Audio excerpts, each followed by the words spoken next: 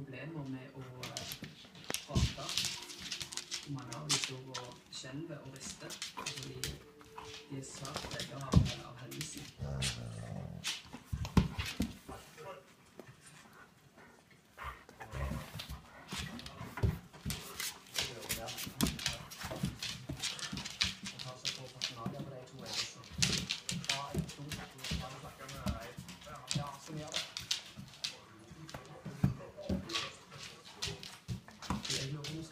insgesamt und das ist der Kampf.